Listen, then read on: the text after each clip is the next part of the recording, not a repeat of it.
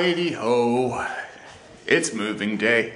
So last night we went out for a meal, uh, and uh, when we got back, uh, we just basically uh, just chilled out for a little while, watched a little TV, and then the coffee table, everything. About 10, 10 p.m. we just started dismantling everything, uh, and then it's good because uh, right now it's uh, we've been up since uh, 6 a.m. Uh, although we've been we've been awake since way earlier, like 4 4:30 or something, because uh, when, when you have to get up early, it's really hard to sleep anyway. Uh, so uh, the only box we have to seal is that one right there. Um, I think all the TVs and stuff they're gonna just go separately. Um, me like an idiot when I came here. I actually I actually brought the box for that TV, but I didn't think I was to move back so quickly. Oh well. Anyway, so the guy 8 a.m. Uh, so hopefully we should be ready. Yep. Everything seems to be done. Fridge I gave 24 hours. And that stuff is just excess food. I'm currently refueling. Oops. And there's a knock on the door.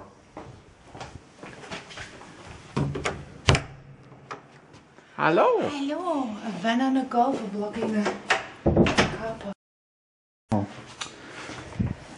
Naughty, naughty, naughty. Exactly, I know. Uh, the thing is, here in Berlin, because we're an apartment building, um, uh, the guys in the van have to park where these cars are here, um, but a little bit farther down. Uh, and they actually put signs up. When, when was it? Earlier this week? Or I think three days before they have to. When did I speak to him? it was something like that. Yeah. Yeah. And uh, they have to put these signs up, and, uh, and now there's a, paying for it. now there's a Volkswagen Golf and a and a Yeah. van that's that's parked there. Well, so, they kind of hope because it's from seven to seven. I know. But if they're still there, then the police will be called, and then it's expensive. Yeah. You see, because we've paid for this. We, we've, we've paid for the license, uh, the temporary license for 12 hours to park a large vehicle there so we can move. And so, yeah.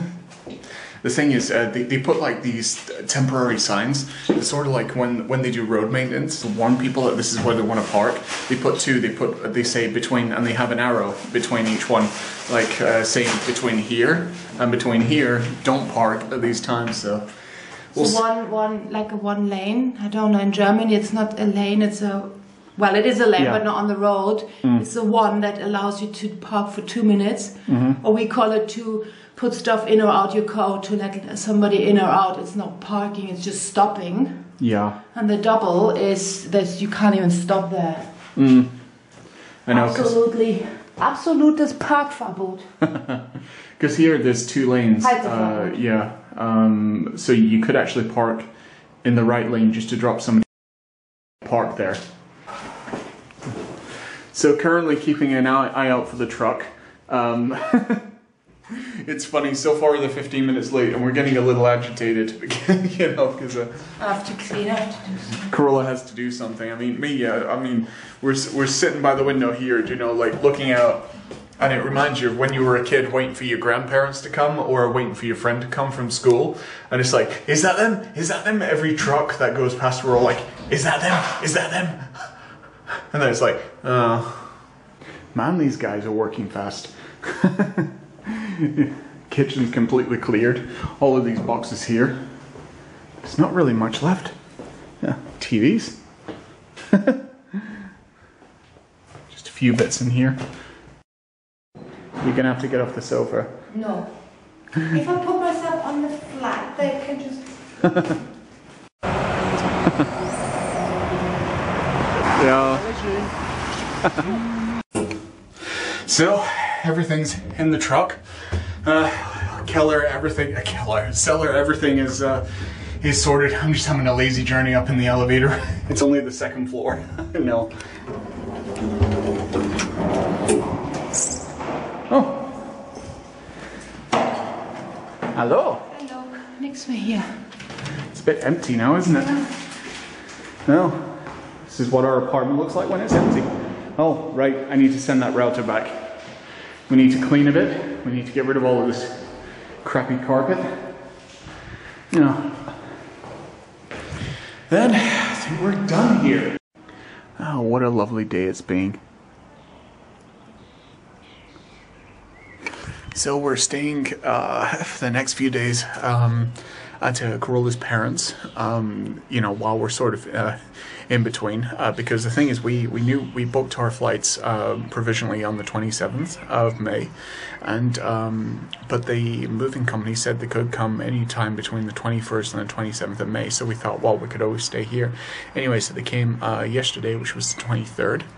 Uh, so it's not so bad. So uh, anyway, it gave us a few more days to get things done. Um, anyway, uh, well, the thing is, you need those extra three days. We we thought this time that um, we'd be professionals at it. We'd uh, do it really early in advance, but as it turns out, uh, we needed like every day that we could possibly do. I mean, we could quite easily have, have worked like eight hours per day unpacking and uh, and stuff, and gotten really really stressed out, things mixed up or something. Um, but anyway, in in the end, uh, it worked out okay. Hmm. But in this case, you know, like uh, me, I mean, I did most of the boxes. Uh, Carola did most of the uh, paperwork um, and things, pretty much all the paperwork and things, because obviously in Germany, um, she knows what's important and things. If it was the other way around, I'd probably sort all the paperwork out, you know, with the English speaking and making sure what's important and stuff. so, but there's so much to do, you know, like you've got to deregister here. You you can't just simply up and leave like you can in England. Um, you just simply stop working, stop paying tax or whatever, you know, like, and uh, and then if you get caught working without paying tax, then that's different. But here, you have to make sure that you deregister. You've got to de everything.